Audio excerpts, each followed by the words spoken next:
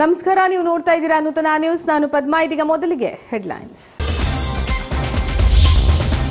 ಕರಾವಳಿಯಲ್ಲಿ ಪಾಸ್ ಆಯಿತು ಕುಮಟಾದಲ್ಲಿ ಫೇಲ್ ಆಯಿತು ಶಾ ದರ್ಬಾರ್ ಮೆಸ್ತಾ ಮನೆಗೆ ಚಾಣಕ್ಯನ ಭೇಟಿ ಸಕ್ಸಸ್, ಅನಾರೋಗ್ಯದಿಂದ ಕುಮಟಾ ಸಮಾವೇಶ ಮುಟುಕು. ಅಲ್ಲಿದೆ ನಮ್ಮನೆ, ಇಲ್ಲಿಗೆ ಬಂದೆ ಸುಮ್ಮನೆ ಅಂತ ಅರ್ಧಕರ್ಧ ಕಾರ್ಯಕರ್ತರು ಮನೆಗೆ ವಾಪಸ್. ಅಭಿಮಾನಿಗಳ ಒತ್ತಾಸೆಯ ಮೇರೆಗೆ ಫೈರ್ ಬ್ರ್ಯಾಂಡ್ ಭಾಷಣ. ಪ್ರಾಮಾಣಿಕತೆ ಮೆರೆಯಲು ಯೋಗ್ಯತೆ ಇಲ್ಲದ ಸಿದ್ದರಾಮಯ್ಯನನ್ನ ಕಿತ್ತೆ ಸೇರಿ ಅಂದ್ರು ಅನಂತ್. ಕಾಂಗ್ರೆಸ್ ವಿರುದ್ಧ ಮತ್ತೆ ಸಚಿವನ ಅಬ್ಬರ ಶಾ ಬರೆದಿದ್ರು ಆನಂದ್ ಫ್ಯಾನ್ಸ್ಗೆ full mails. BJP Chanakya Amit Shah Gokarna ಭೇಟಿ ಹಿನ್ನೆಲೆ ಜಾತ್ರಾ ಅಂಗಡಿಗಳ ದಿಢೀರ್ ತೆರವು. ಅಂಗಡಿಕಾರರ ತೀವ್ರ ಆಕ್ರೋಶ. ಈಗ ವಾರ್ತೆಗಳ ವಿವರ.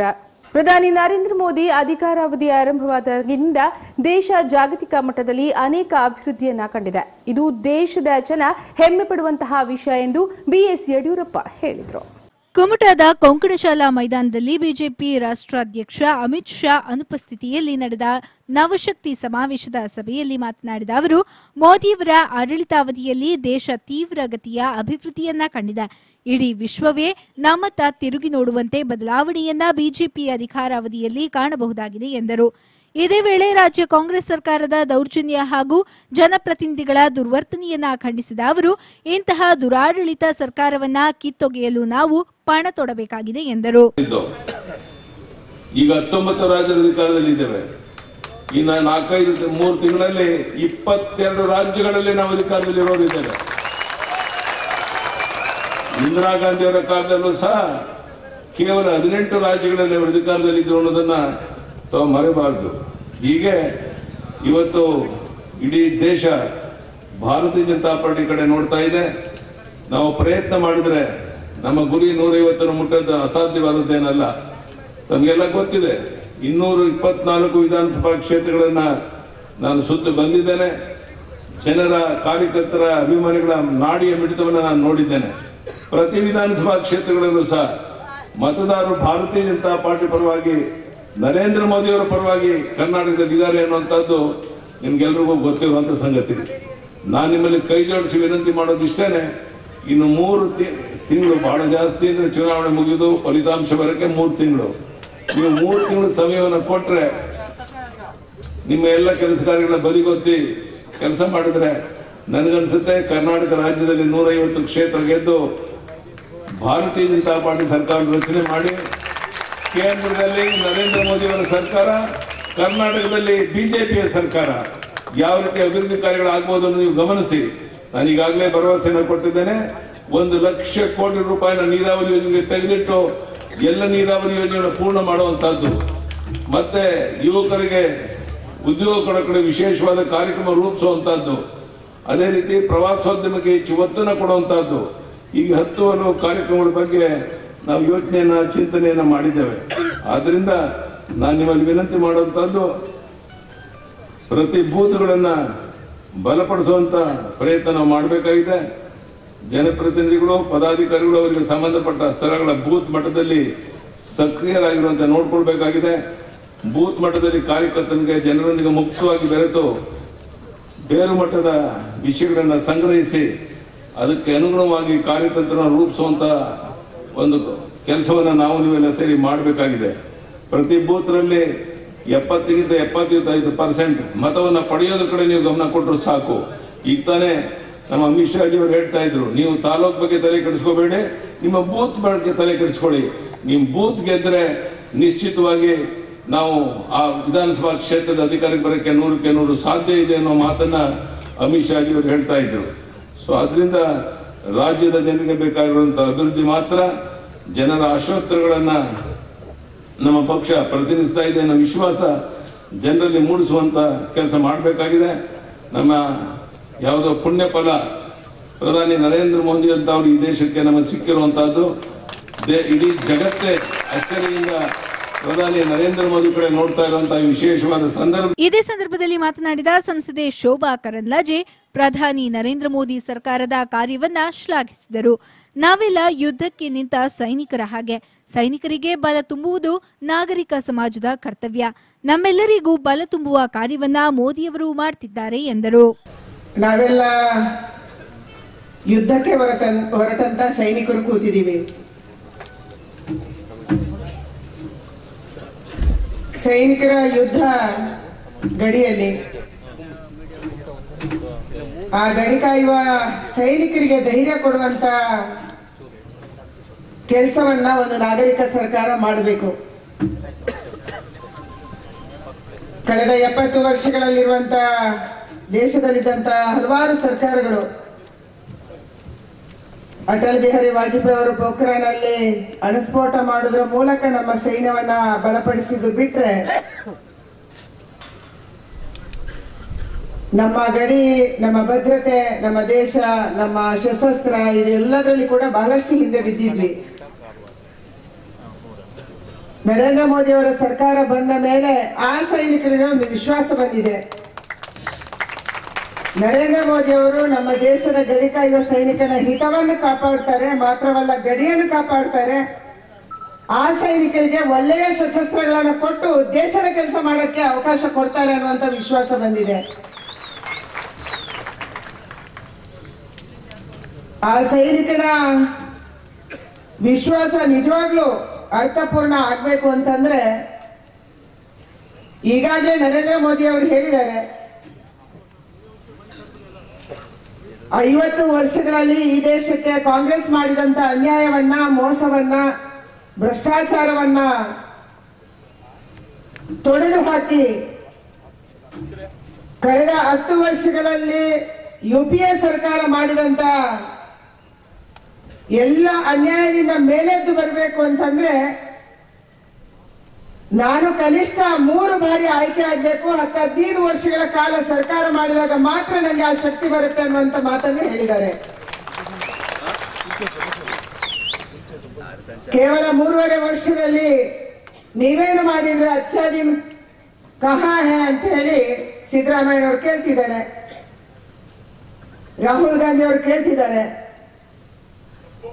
ಆ ಪ್ರಶ್ನೆಯನ್ನು ಅವರು ವಾಪಸ್ ಅವರಿಗೆ ಕೇಳ್ಕೋಬೇಕಾಗಿತ್ತು, ಯಾಕಂದ್ರೆ ದೇಶದಲ್ಲಿ ಅತ್ಯಂತ ಹೆಚ್ಚು ಆಡಳಿತ ನಡೆಸಿದಂತವರು ಅವರು. ಮೂರುವರೆ ವರ್ಷಗಳ ಅವಧಿಯಲ್ಲಿ ದೇಶದ ಭದ್ರತೆ ದೃಷ್ಟಿಯಿಂದ, ದೇಶದ ಅಭಿವೃದ್ಧಿ ದೃಷ್ಟಿಯಿಂದ ಯಾವ ದೇಶದ ಪ್ರಧಾನಿ ಬೇರೆ ಬೇರೆ ದೇಶಗಳಿಗೆ ಅದು ಯುರೋಪಿನ ಬೇರೆ ದೇಶಗಳಿರ್ಬೋದು ಅಮೆರಿಕ ಇರ್ಬೋದು ರಷ್ಯಾ ಇರ್ಬೋದು.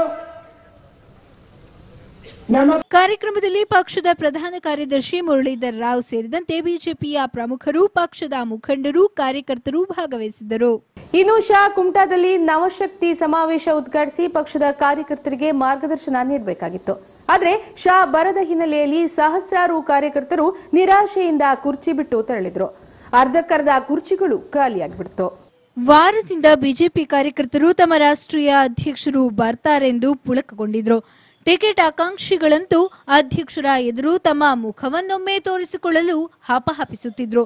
ಮೂರು ಗಂಟೆಗೆ ಪ್ರಾರಂಭವಾಗಬೇಕಾಗಿದ್ದ ಸಭೆಗೆ ನಾಲ್ಕು ಗಂಟೆಯಾದರೂ ಬರೆದಿದ್ದಾಗ ಮುಖಂಡರು, ಕಾರ್ಯಕರ್ತರು ದೂರವಾಣಿಯ ಮೂಲಕ ವಿಚಾರಿಸಲು ತೊಡಗಿದ್ರು. ಆದರೆ ಅನಾರೋಗ್ಯದಿಂದಾಗಿ ಶಾ ಪರೇಶ್ ಮನೆ ಭೇಟಿಯ ನಂತರ ಹುಬ್ಬಳ್ಳಿಗೆ ತೆರಳುತ್ತಾರೆ. ಕುಮಟಾ ಬರೋದಿಲ್ಲವೆಂಬ ಮಾಹಿತಿ ತಿಳಿಯುತ್ತಿದ್ದಂತೆ ಕಾರ್ಯಕರ್ತರು ಜಾಗ ಖಾಲಿ ಮಾಡಲು ತೊಡಗಿದ್ರು. ಯಡಿಯೂರಪ್ಪ, ಶೋಭಾ ಕರಂದ್ಲಾಜೆ ಮಾತನಾಡುವಾಗಲೂ ಟಾಟಾ ಎಂದು ಹಲವರು ಹೊರಟೇ ಬಿಟ್ರು. ಯಡಿಯೂರಪ್ಪನವರ ಶಕ್ತಿ ಕುಂದಿದ್ದು ಅವರ ಭಾಷಣದಲ್ಲೇ ವ್ಯಕ್ತವಾಗುತ್ತಿತ್ತು. ಹಾಗೆಯೇ ಶಕ್ತಿಮಾನಾಗಿ ಹೊರಹೊಮ್ಮಿದ ಅನಂತಕುಮಾರ್ ಹೆಗಡೆ ನಿರಾಸೆ ಮಾಡಲಿಲ್ಲ. ತಮ್ಮ ಹರಿತ ನಾಲಿಗೆಯನ್ನ ಚೆನ್ನಾಗಿಯೇ ಉಪಯೋಗಿಸಿ ಕಾರ್ಯಕರ್ತರಿಗೆ ಹುಮ್ಮಸ್ಸು ತುಂಬಿದ್ರು. ಶೋಭಾ ಕರಂದ್ಲಾಜೆ ಕೂಡ ಎಂದಿನಂತೆ ಏರು ದುನಿಯಲ್ಲೇ ಅಬ್ಬರಿಸಿದ್ರು. ಕುಮಟಾದಲ್ಲಿ ನಡೆದ ನವಶಕ್ತಿ ಸಮಾವೇಶದಲ್ಲಿ ಬಿಎಸ್ವೈ ಭಾಷಣ ಮುಗಿಯುತ್ತಿದ್ದಂತೆ ಕಾರ್ಯಕ್ರಮವನ್ನ ಮುಗಿಸಲು ಸಿದ್ಧತೆ ಮಾಡಿಕೊಳ್ಳಲಾಗಿತ್ತು. ಆದರೆ ಸಚಿವ ಅನಂತ್ ಕುಮಾರ್ ಹೆಗಡೆ ಅಭಿಮಾನಿಗಳು, ಅನಂತ್ ಭಾಷಣ ಬೇಕು, ಅನಂತ್ ಭಾಷಣ ಬೇಕು ಅಂತ ಕಿರಿಚಿಕೊಳ್ಳುತ್ತಿದ್ದಂತೆ ಅನಂತ್ ಕುಮಾರ್ ಹೆಗಡೆಗೆ ವೇದಿಕೆಯನ್ನ ನೀಡಲಾಯಿತು. ಫೈರ್ ಬ್ರ್ಯಾಂಡ್ ಭಾಷಣಕ್ಕಾಗಿಯೇ ಕಾದು ಕುಳಿತಿದ್ರು ಅನಂತ್ ಫ್ಯಾನ್ಸ್ ಅಭಿಮಾನಿಗಳ ಅರಚಾಟ ಕೇಳ್ತಿದ್ದಂತೆ ಮೈಕ್ ಹಿಡಿದ್ರು ಸಚಿವ ಅನಂತ್. ಕಾರ್ಯಕ್ರಮದ ಪಟ್ಟಿಯಲ್ಲಿ ಅನಂತ್ ಕುಮಾರ್ ಹೆಗಡೆ ಭಾಷಣವನ್ನ ನಿಗದಿಪಡಿಸಿರಲಿಲ್ಲ. ಶೋಭಾ ಕರಂದ್ಲಾಜೆ ಹಾಗೂ ಬಿಎಸ್ ಪೈ ಸ್ಪೀಚ್ ಮುಗಿತಾ ಇದ್ದಂತೆ ಕಾರ್ಯಕ್ರಮ ಮುಗಿಸುವ ತಯಾರಿಯಲ್ಲಿದ್ರು ಸಂಘಟಕರು. ಆದ್ರೆ ಅನಂತ್ ಅಭಿಮಾನಿಗಳು ಸುಮ್ಮನೆ ಕೂರಲಿಲ್ಲ. ಅನಂತ್ ಸ್ಪೀಚ್ ಬೇಕು ತಮ್ಗೆ ಅಂತ ಕಿರುಚಾಡೋಕೆ ಶುರು ಮಾಡಿದ್ರು. ಅಮಿತ್ ಶಾ ಬರುವುದಿಲ್ಲ ಎಂದು ತಿಳಿತಿದ್ದಂತೆ ಅರ್ಧಕ್ಕರ್ಧ ಜನ ಮನೆಗೆ ತೆರಳಿದ್ರು. ಇನ್ನರ್ಧ ಜನ ಅನಂತ್ ಕುಮಾರ್ ಹೆಗಡೆ ಭಾಷಣಕ್ಕಾಗಿಯೇ ಕೂತಿದ್ರು. ಅಮಿತ್ ಶಾ ಅನಾರೋಗ್ಯದ ಹಿನ್ನೆಲೆಯಲ್ಲಿ ಕಾರ್ಯಕ್ರಮವನ್ನ ಮೊಟಕುಗೊಳಿಸಿ ದೆಹಲಿಗೆ ತೆರಳಿದ್ದು ಕಾರ್ಯಕರ್ತರಿಗೆ ನಿರಾಶೆಯನ್ನುಂಟು ಮಾಡಿತ್ತು. ಆದರೆ ಅನಂತಕುಮಾರ್ ಹೆಗಡೆಯ ಭಾಷಣವೊಂದೇ ಅಭಿಮಾನಿಗಳನ್ನ ಕಾದು ಕುಳಿಸಿತ್ತು ಅಭಿಮಾನಿಗಳ ಒತ್ತಾಸೆಯ ಮೇಲೆ ಮಾತನಾಡಿದ ಜಿಲ್ಲಾ ಸಂಸದರು ಹಾಗೂ ಕೇಂದ್ರ ಕೌಶಲ್ಯಾಭಿವೃದ್ಧಿ ರಾಜ್ಯ ಸಚಿವರಾದ ಅನಂತಕುಮಾರ್ ಹೆಗಡೆ ರಾಜ್ಯ ಸರ್ಕಾರದ ವಿರುದ್ಧ ತೀವ್ರ ವಾಗ್ದಾಳಿ ನಡೆಸಿದರು. ಸಿದ್ದರಾಮಯ್ಯ ನೇತೃತ್ವದ ಕಾಂಗ್ರೆಸ್ ಸರ್ಕಾರ ಅತ್ಯಂತ ಹೊಲಸು ರಾಜಕಾರಣವನ್ನ ಮಾಡುತ್ತಿದೆ. ಜನಪ್ರತಿನಿಧಿಗಳು ಮಾನಬಂದಂತೆ ವರ್ತಿಸುತ್ತಿರುವುದು ಅತ್ಯಂತ ನಾಚಿಗೇಡಿನ ವಿಷಯ. ಇವರ ಅಧಿಕಾರಾವಧಿಯಲ್ಲಿ ಅದೆಷ್ಟೋ ಕಾರ್ಯಕರ್ತರು ಹತ್ಯೆಗೀಡಾಗಿದ್ದಾರೆ ಇದ್ಯಾವುದನ್ನು ಸರ್ಕಾರ ಪರಿಗಣಿಸುತ್ತಿಲ್ಲ ಎಂದು ಹೇಳಿದರು. ಇತ್ತೀಚೆಗೆ ಹಲ್ಲೆಗೊಳಗಾದ ಮೃತಪಟ್ಟ ಪರೇಶ್ ಮೇಸ್ತಾ ಪ್ರಕರಣವನ್ನ ಸಿಬಿಐ ತನಿಖೆಗೆ ನೀಡಲಾಗಿದ್ದು, ಅದರ ಫಲಿತಾಂಶವನ್ನ ಎದುರಿಸುವ ಸಾಮರ್ಥ್ಯವಿದೆಯೋ ಎಂದು ಸಿದ್ದರಾಮಯ್ಯನವರಿಗೆ ಪ್ರಶ್ನಿಸಿದರು. ಕೇಂದ್ರ ಸರ್ಕಾರ ನೀಡುತ್ತಿರುವ ಅನಿಲ ಭಾಗ್ಯ ಯೋಜನೆಯನ್ನ ರಾಜ್ಯ ಸರ್ಕಾರ ತನ್ನದೆಂದು ಹೇಳಿಕೊಳ್ಳುತ್ತಿದೆ. ಮುಖ್ಯಮಂತ್ರಿಯವರಿಗೆ ತಾಕತ್ತಿದ್ರೆ ತಮ್ಮ ಹಣದಿಂದ ಒಂದೇ ಒಂದು ಗ್ಯಾಸ್ ಸಿಲಿಂಡರ್ ಅನ್ನ ನೀಡಲಿ ಎಂದು ಸವಾಲೆಸಿದ್ರು. ಈಗಾಗಲೇ ಪರೇಶ್ ಮೇಸ್ತಾರ್ ಅವರ ಮನೆಗೂ ಕೂಡ ನಾವು ಹೋಗಿದ್ವಿ. ಕರ್ನಾಟಕ ಸರ್ಕಾರ ಅದೇ ತುತ್ತೂರಿಯನ್ನು ಬಾರಿಸ್ತಾ ಇದೆ. ನಾವು ಸಿಬಿಐ ಕೊಟ್ಟಿದ್ವಿ. ಸಿಬಿಐದವ್ರು ಮಾಡಬೇಕು. ಅವ್ರು ಯಾಕೆ ಮಾಡಿಲ್ಲ ಅಂತ. ಖಂಡಿತವಾಗಿ ನಮಗೆ ಅದರ ಗಂಭೀರತೆಯ ಅರಿವಿದೆ. ಮುಂದಿನ ದಿವಸದಲ್ಲಿ ತನಿಖೆ ಹೇಗೆ ನಡೆಯುತ್ತೆ ಅನ್ನೋದನ್ನ ಸಿದ್ದರಾಮಯ್ಯನವರೇ ನೀವೇ ನೋಡ್ಕಲ್ರಿ ಏನಾದ್ರೂ ಕೆಳಗಡೆ ಬೆಂಕಿ ಬಿದ್ದರೆ ಮತ್ತೆ ಬೈಬೇಡ್ರಿ.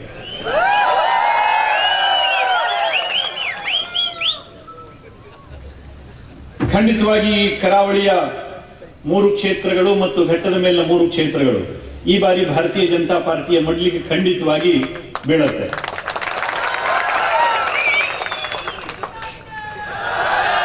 ಆಗಾಗ ಆಗಾಗ್ಗೆ ನಮ್ಗೆ ನಮ್ಮ ಕರ್ನಾಟಕ ರಾಜ್ಯದ ಮುಖ್ಯಮಂತ್ರಿಗಳಿಗೆ ಕನಸು ಬೀಳ್ತಾ ಇರುತ್ತೆ. ಕಾಂಗ್ರೆಸ್ ಎಲ್ಲೋ ಗೆದ್ದು ಬಿಡುತ್ತೆ ಗೆದ್ದು ಬಿಡುತ್ತೆ ಅಂತ. ಬೇರೆ ಬೇರೆಯವರಿಗೆ ಬೇರೆ ಬೇರೆ ಕನಸು ಬೀಳತ್ತೆ, ಆದ್ರೆ ನಮ್ಮ ಸಿದ್ದರಾಮಯ್ಯನವರಿಗೆ ಕಾಂಗ್ರೆಸ್ ಗೆದ್ದು ಬಿಡುತ್ತೆ ಅನ್ನತಕ್ಕಂಥ ಕನಸು ಬೀಳುತ್ತೆ. ಅವರ ಮಂತ್ರಿ ಮಂಡಳದ ಅನೇಕ ಸದಸ್ಯರಿಗೆ ಬೇರೆ ಬೇರೆ ಕನಸು ಬೀಳುತ್ತೆ, ಮೇಟಿಗೆ ಬೇರೆ ಕನಸು ಬೀಳುತ್ತೆ. ದೇಶಪಾಂಡೆ ಅವರಿಗೆ ಬೇರೆ ಕನಸು ಬೀಳುತ್ತೆ. ಪರಮೇಶ್ವರಯ್ಯ ಯಾರಿಗೆ ಬೇರೆ ಕನಸು ಬೀಳತ್ತೆ. ಆದ್ರೆ ತುಂಬಾ ಆಶ್ಚರ್ಯ ಅಂದ್ರೆ ನೋಡ್ರಿ, ಆ ಪರಮೇಶ್ವರಪ್ಪ ಮತ್ತು ನಮ್ಮ ಸಿದ್ದರಾಮಯ್ಯ ಅವರಿಬ್ಬರು ಒಟ್ಟಿಗೆ ಹೋಗೋ ಕನಸು ಯಾರಿಗೂ ಬೀಳದೇ ಇಲ್ಲ. ಖಂಡಿತವಾಗಿ ಮುಂದಿನ ದಿನದಲ್ಲಿ ಕಾಂಗ್ರೆಸ್ ಸೋಲನ್ನ ಕಾಂಗ್ರೆಸ್ನವರಿಂದನೇ ಕಂಡುಕೊಳ್ಳುತ್ತೆ.